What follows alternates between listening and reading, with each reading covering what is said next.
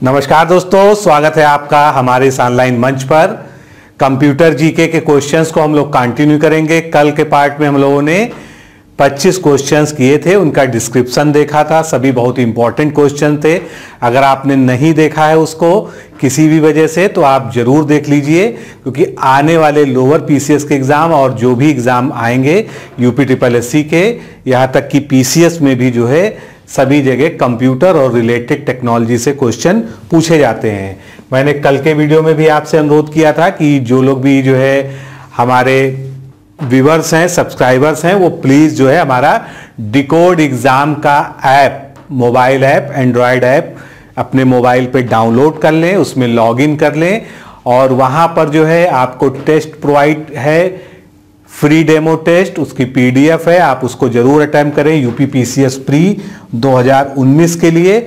और आपको लगता है कि हमारा जो टेस्ट है, उसकी क्वालिटी अच्छी है और कंटेंट जो है, उसमें आपको संपूर्णता के साथ जो है, पूरी व्याख्या से दिया जा रहा है तो आप हमारे टेस्ट प्रोग्राम से जुड़ सकते हैं। ये कुल 25 टेस्ट इसमें आपको प्रोवाइड कराए जाएँगे, जिसमें जो है, सब्जेक्ट वाइज टेस्ट भी हैं, चार जो है, टेस्ट करंट अफेयर्स के हैं और उसके अलावा फुल टेस्ट हैं। तो ये सभी जो है बहुत ही इंपॉर्टेंट क्वेश्चंस पे बेस्ड पूरी ये सीरीज़ होगी, जिसमें लगभग जो है तीन हज़ार पचास प्रश्न जो है होंगे।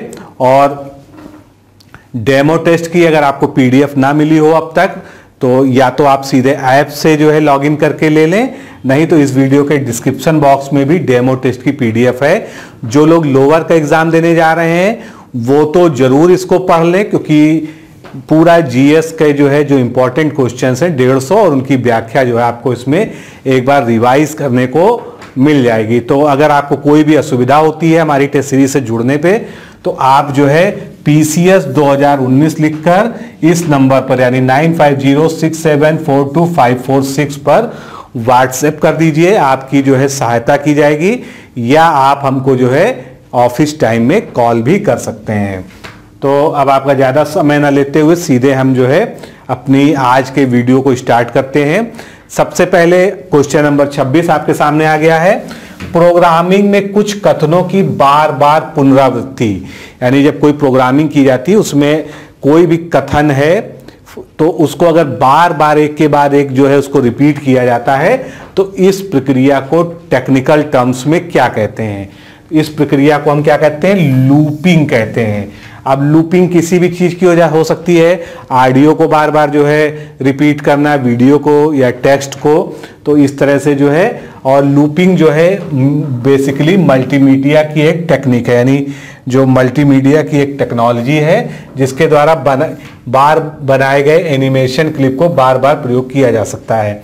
उदाहरण के लिए किसी किरदार को चलते हुए दिखाने के लिए उसकी एक ही क्लिप को जो है एक के बाद एक लगाते जाएँगे तो लूपिंग के माध्यम से उसको हम ऐसा दिखा सकते हैं कि वो चल रहा है। तो मल्टीमीडिया और एनिमेशन, इनमें जो है लूपिंग का प्रयोग ज़्यादा होता है। इंटरनेट टेक्नोलॉजी के आरंभ में इंटरनेट पेज तैयार करने के लिए कौन सी भाषा का प्रयोग करते हैं? इंपॉर्टेंट क्वेश्चन है, पूछा भी जा चुका है। तो इंटरनेट जो प्रारंभिक पेज होता है, वो एच होता है। एच का फुल फॉर्म क्या होता है? आप सभी को पता होना चाहिए। हाइपर टेक्स्ट मार्कअप लैंग्वेज पूछा भी जा चुका है विभिन्न एग्ज़ाम में। और ये एक कोड या भाषा है, जिसका उपयोग वेबसाइट बनाने के लिए किया जाता है। एच लैंग्वेज का प्रयोग इंटरनेट प्रौद्योगिकी के आरंभ में इंटरनेट पेज तैयार करने के लिए किया जाता है। अगला प्रश्न आपके सामने आ गया। अट्ठाईसवां प्रश्न है ये सीरीज़ का।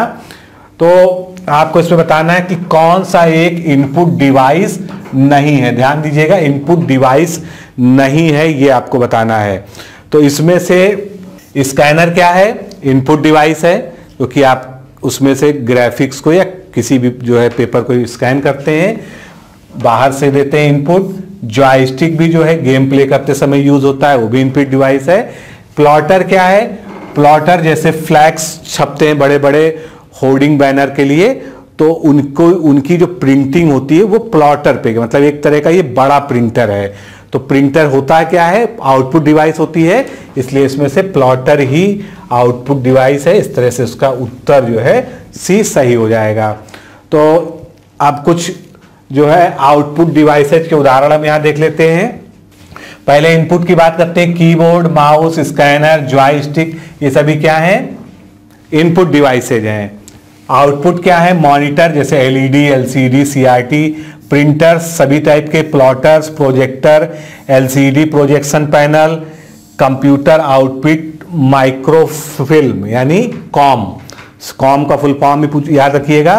कंप्यूटर, आउटपुट, माइक्रोफिल्म, जिसको हम कॉम कहते हैं। Speakers, headphones, visual display units microfiche ये सभी जो है क्या है? आउटपुट डिवाइसेज हैं। कंप्यूटर के क्षेत्र में उभर रही नई टेक्नोलॉजी इनमें से कौन सी है? तो आजकल जो है, जो सबसे लेटेस्ट टेक्नोलॉजी है, वो क्या है? पैरेलल प्रोसेसिंग सिस्टम इसमें क्या इसकी इंपॉर्टेंस है? पैरेलल प्रोसेसिंग सिस्टम वही सिस्टम है, जिसका इस्तेमाल करके सुपर कंप्यूटर्स जो है काम करते हैं। यानी एक साथ कई सारे सीपीयू को अगर जोड़ दिया जाए तो ये जोड़ना नेटवर्किंग की तरह नहीं, यानी उसके जो प्रोसेसर हैं वो एक ही जो है समस्या पर काम करें, एक ही गणना को सभी प्रोसेसर मिलकर एक साथ काम करें, उसको हम जो है मल्टी पैरेलल प्रोसेसिंग सिस्टम कहते हैं। तो जो सुपर कंप्यूटर है, उसकी टेक्नोलॉजी इसी पे बेस होती है, इस प्रश्न का मूल उद्देश्य जो है यही है। अगला कंप्यूटर के संदर्भ में स्टोर्ड प्रोग्राम की अवधारणा। सबसे पहले किसने प्रस्तुत की थी? तो कंप्यूटर के संबंध, संदर्भ में स्टोर्ड प्रोग्राम की अवधारणा जॉन वॉन न्यूमैन के द्वारा प्रस्तुत की गई थी। और ये अवधारणा, इसका ईयर भी देख लीजिए 1940 के दशक में वैज्ञानिक जॉन वॉन न्यूमैन ने इसको प्रस्तुत किया था। कंप्यूटरों के लिए आईसी चिप प्राय किस पदार्थ से बनती है? तो आईसी चिप आप जानते हैं। किस पदार्थ से बनती है? सिलिकॉन से। सिलिकॉन से आईसी चिप बनाया जाता है। सिलिकॉन क्या है? एक केमिकल एलिमेंट है, जिसका परमाणु क्रमांक कितना होता है? चौदह होता है। और ये अधिकतर अर्धचालक यानी सेमीकंडक्टर डिवाइसेज का एक प्रमुख घटक होता है। कंप्यूटर की आईसी चिप या माइक्रोचिप इसी तत्व की बनी होती है। अगला प्रश्न, भारत का पहला कंप्यूटर कहाँ स्थापित किया गया था?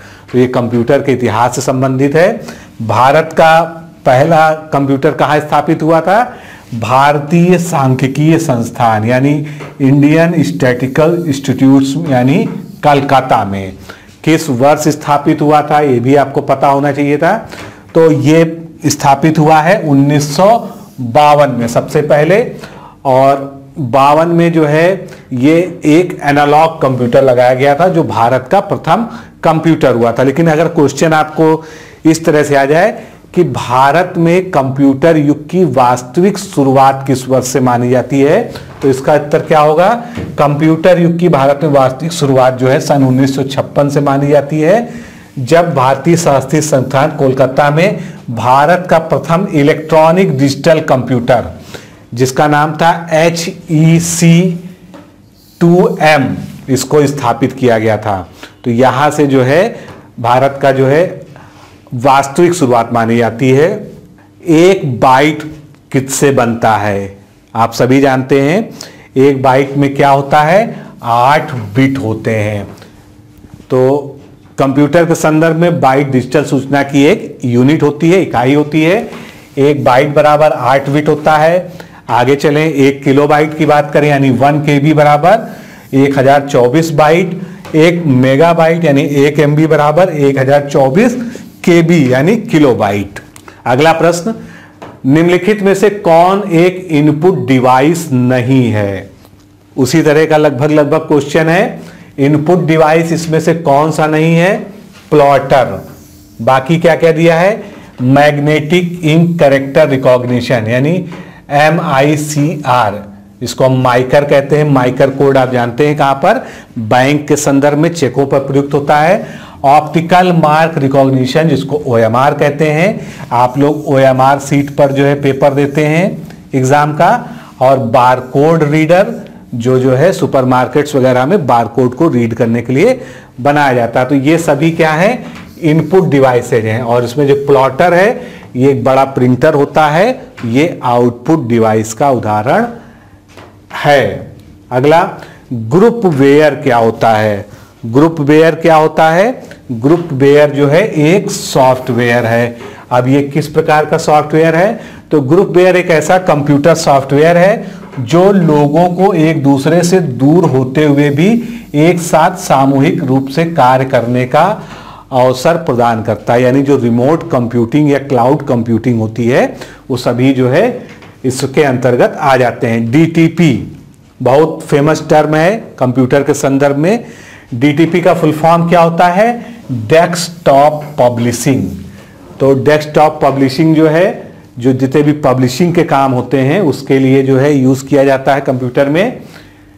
अब एक परीक्षा में जो है पूछा गया था डेस्कटॉप पब्लिशिंग के मुख्य अवयव कौन कौन से होते हैं। शायद यूपी पीसीएल का कोई एग्ज़ाम था तो ये भी जान लीजिए। इसके लिए आपको एक पीसी चाहिए। पेज लेआउट करने के लिए जो है यथादस्त तथा प्राप्ति, यानी W Y S Y G software इसका फुल फॉर्म क्या होता है? What you see is what you get what you see is what you get और अच्छी गुणवत्ता वाला, यानी अच्छी क्वालिटी का एक प्रिंटर चाहिए। तो ये तीन मुख्य आवश्यक अंग हैं डीपीटी के लिए डेस्कटॉप पब्लिशिंग के लिए। जीआईएस का फुल फॉर्म क्या होता है? आसान है। सारे ऑप्शन देखिए ध्यान से, बताइए जीआईएस का फुल फॉर्म क्या होता है? Geographical information system geographical information system ये जीआईएस का फुल फॉर्म होता है। सॉफ्टवेयर को एकीकृत करके भौगोलिक संदर्भ रचनाओं के लिए आंकड़े एकत्र करना, उनका प्रबंधन करना, उनके एनालिसिस करना, ये सभी जो है जियोग्राफिकल इंफॉर्मेशन सिस्टम के अंतर्गत किया जाता है। रोम आर ओ एम यानी रीड वनली मेमोरी के सभी रूपों को और क्या कहा जाता है। तो इनमें से जो है और क्या कह सकते हैं इसको हम? फर्मवेयर कह, क्यों कहते हैं? फर्मवेयर क्यों कहा जाता है? तो रोम के सभी रूपों को फर्मवेयर भी कहा जाता है।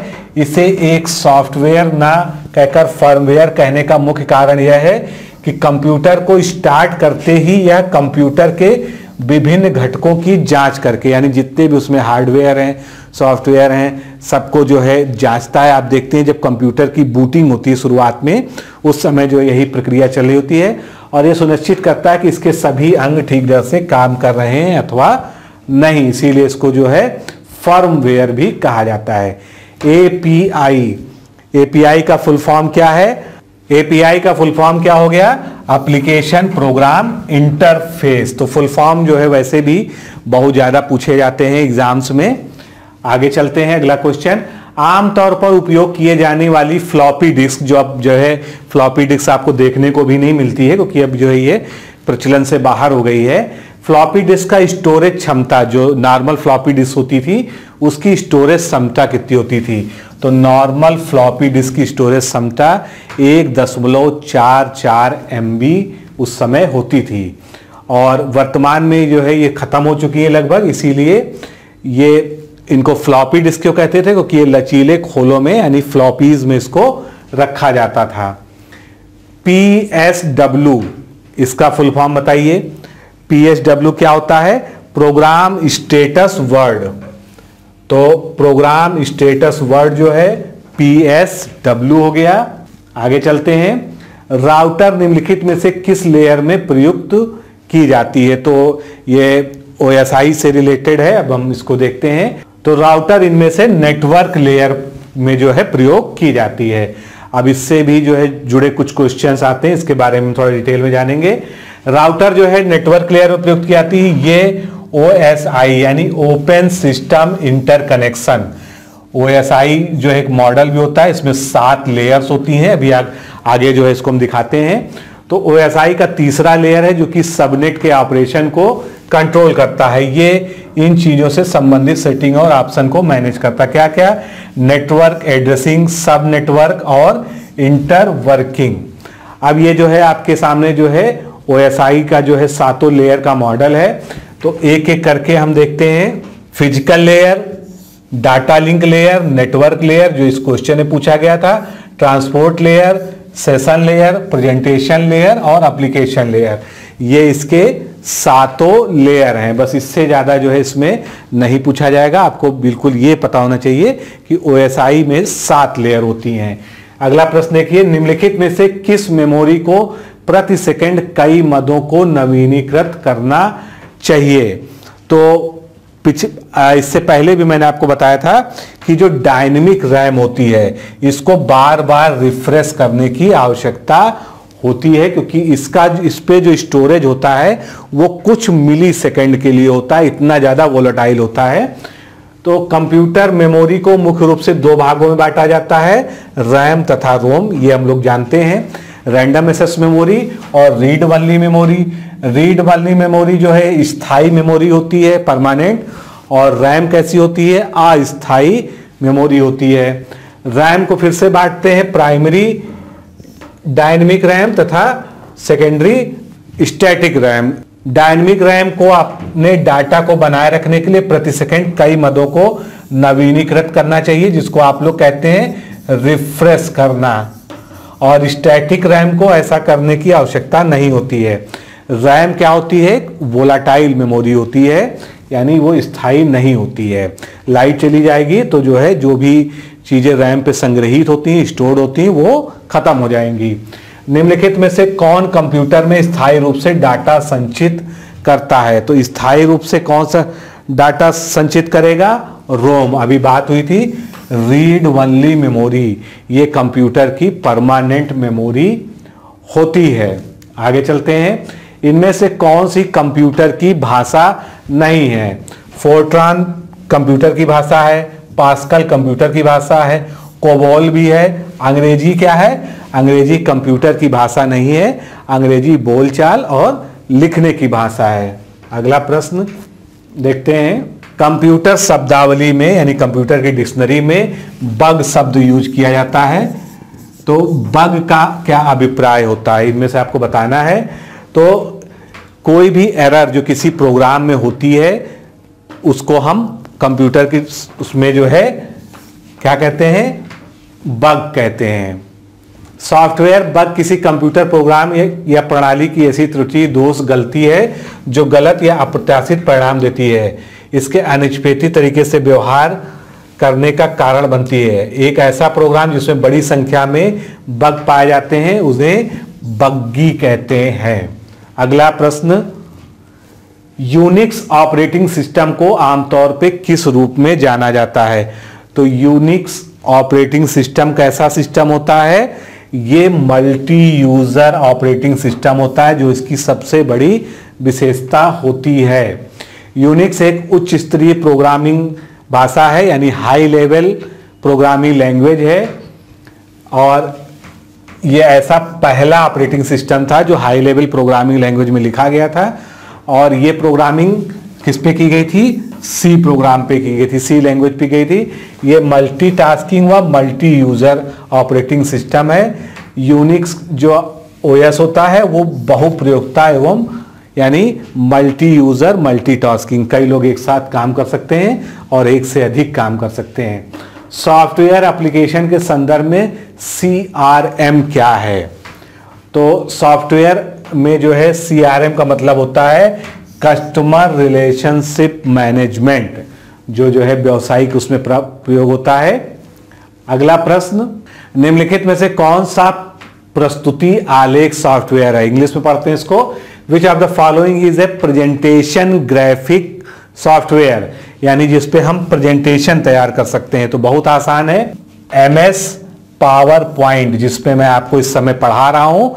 यही वो प्रोग्राम है जिसपे प्रेजेंटेशन किया तो एम एस पावर पॉइंट जो है, एक प्रेजेंटेशन सॉफ्टवेयर है जो माइक्रोसॉफ्ट ऑफ़िस का ही एक अवयव है। पावर पॉइंट के उपयोग कहाँ कहाँ किए जा सकते हैं?